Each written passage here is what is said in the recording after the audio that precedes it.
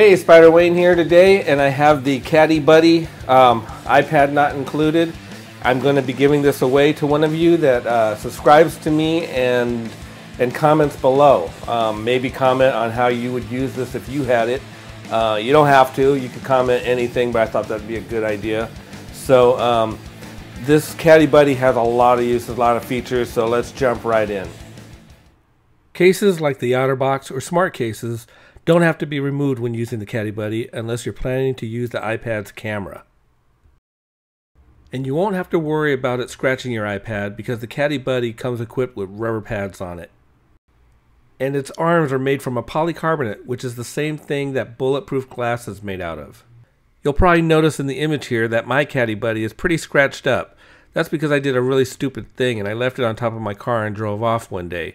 It flew off the car, slid across the pavement, and when I went back for it, the only damage I saw was that the CaddieBuddy had some scratches on it. As for my iPad, there was absolutely no damage whatsoever to it. Thanks, CaddieBuddy.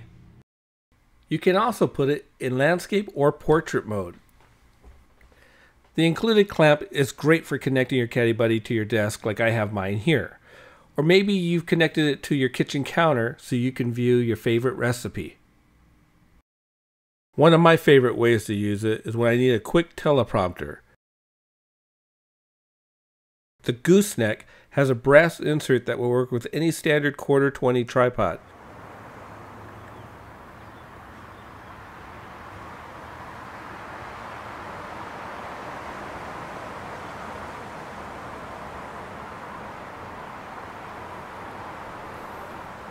As you can see, there are lots of ways to use your CaddieBuddy.